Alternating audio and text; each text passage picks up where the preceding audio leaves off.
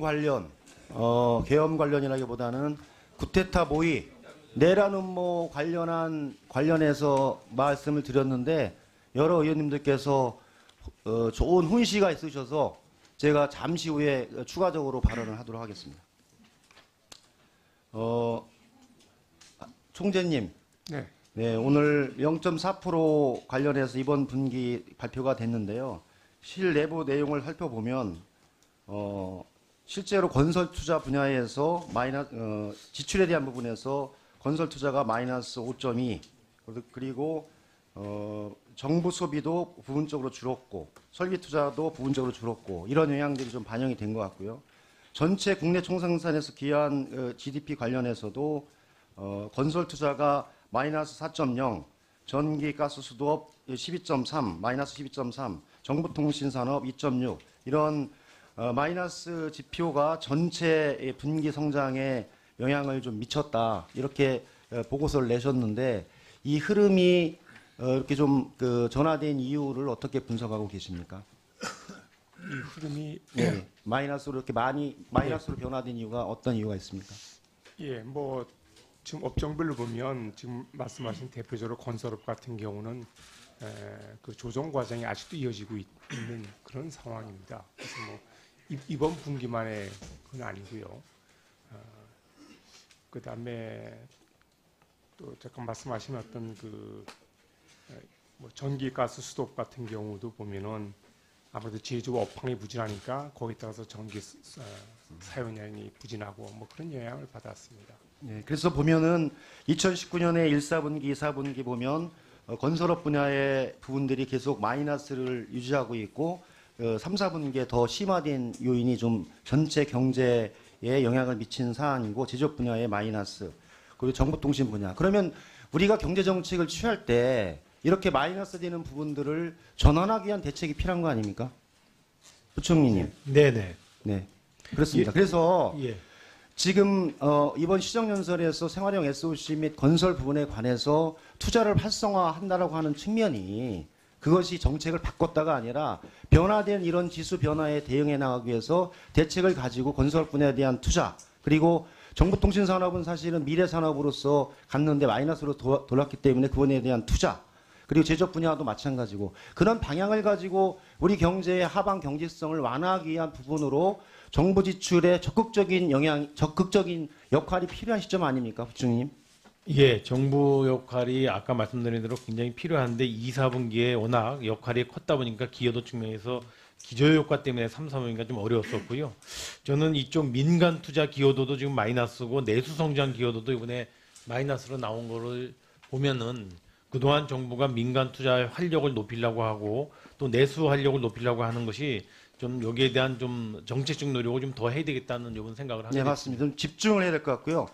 어, 지금 IMF나 OECD에서도 보면 중국 같은 경우도 지금 어, 경제 성장률을 6.0을 사수하느냐 아니냐에 가지고 엄청나게 중국 정부도 고민이 많은 상황이고 다른 신흥 개도국과 OECD 국도 일본은 0.9, 유로존 1.2, 미국 2.4, 어, 선진국 평균 1.7입니다. 중국 6.1, 인도 6.1, 브라질 0.9, 멕시코 0.4. 즉 개도국 중에 고속 성장을 했던 나라들이 어, 세계 경제의 둔화 국면에서 성장률이 그 어, 둔화돼 나가면서 여러 가지의 구조적 국면과 새로운 전환의 국면을 맞고 있다는 게 전체적인 평가 아닙니까? 네. 전 그에 따라서 우리 정부가 취하는 두 가지 정책 아닙니까? 통화 정책과 재정 정책 부분에서 한은에서 그러면 어, 어, 금리를 1.25로 낮추면서 여기에 대해 부응한 정책을 취했는데 현재 국면에서 추가적인 금리가 필요한 것인지 아니면 여력을 남겨뒀다가 비상시에 쓸 것인지에 대한 컨티전시 플랜이 지금 필요한 게 아닌가라는 판단이 좀 들어요. 그 다음 부총리께서도 올해 확장적 재정 정책이었지만 이런 국면을 예비하면서 2017년, 18년, 19년에 보다 더 큰 확장 정책으로 이런 국면을 사전에 왜 예방을 하지 못했는가에 대한 검토도 좀 필요하다고 봅니다. 그래서 그런 것에 취해 그 그런 것에 그 기반해서 올해의 정책 어, 재정 정책을 좀 더 공격적으로 가져가는 것은 정말 국민 경제를 제대로 관리하는 측면의 최고 책임자로서 중요한 정책 아닙니까? 먼저 하는 총장님의 금리 정책에 대한 통화 정책에 대한 입장, 어, 부총리님의 입장을 한번 말씀해 주시죠. 예, 저희들이 어, 경기 어떤 하방 리스가 커서 금리를 두 차례 금리를 내렸고 어, 앞으로도 경기 회복을 지원하기 위해서 금리 정책 운영하겠다 이렇게 말씀을 드렸습니다. 그리고 어, 그 대신 그 완화의 정도를 어느 정도 갖고 갈 것인가 하는 것은 어, 여러 가지 앞으로의 상황 전개를 보고 어, 다른 어떤 그 요인들의 에, 그 전개 상황을 같이 종합적으로 고려해서 말, 어, 보도록 하겠다. 어, 제가 이런 계획을 갖고 있습니다. 어, 예. 제가 예, 예, 부총님 간략하게. 예, 재정정책 관련해서 의원님 말씀 주신 대로 어, 민간 기여도가 굉장히 미약하기 때문에 정부 기여도를 높이기 위해서 확장적 재정 기조로 가야 된다는 것에 대해서는 확실하게 저희가 설정하고 있고요. 내년도에 그와 같은 의미에서 9.3% 설정한 것도 어, 그러한 의지가 반영된 거라고 저는 생각을 합니다. 네.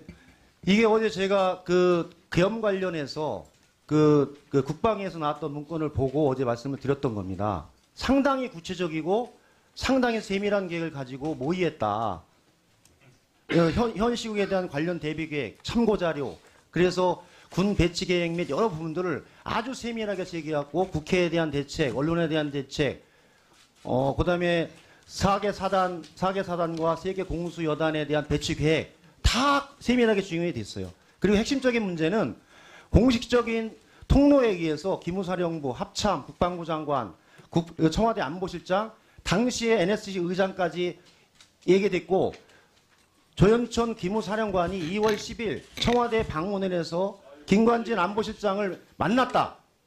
그러면 NSC 의장이었던 황교안 총재, 황교안 대통령 권한대행이 이것을 인지했는지를 확인해 보는 것은 엄정하게 중요한 문제다라고 봅니다. 왜냐하면 2017년 11월, 12월의 집회는 가장 평화로웠고 한 번도 폭력 시위가 없었습니다. 그 시기에 경찰로서 충분하게 방어가 가능했던 계획이었고 특히 군이 출동을 해서 평화적인 시위를 제압하는 그런 시기가 아니었던 시기에 대통령 권한대행으로서 그 역할을 제대로 했는지 안 했는지를 확인하는 건 대단히 중요한 일입니다. 그걸 몰랐다면 국민의 안전을 책임지는 대통령 권한대행 NSC 의장으로서 임무를 방해하시고 몰랐다면 무능을 반증하는 겁니다. 당연히 그래서 그런 문제에 관해서는 확인하고 하는 것이 경제에 가장 중요한 얘기입니다. 쿠데타가 일상화되고 쿠데타 계획을 모의하는 나라에 어느 기업 투자자가 어느 기업이 투자를 합니까? 투자의 안정성, 예측 가능성, 투자에도 1%의 수익이 있다고 생각해야지 10년간 1%씩 10년을 투자한다. 그런 투자 계획을 발표하는 거 아닙니까? 그래서 가장 두려워하는 것이 자본이 두려워하는 것이 투자의 불안정성, 나라의 불안정성입니다. 이거 대단히 중요한 겁니다. 그래서 앞으로 정부에서 부총리께서는 저는 국무회에 들어가셔서 이런 이런 문제에 관해서 공식적으로 회의, 회의 석상에서 얘기 자, 1분 지났습니다. 예, 정리해 주십시오. 예, 고맙습니다. 예,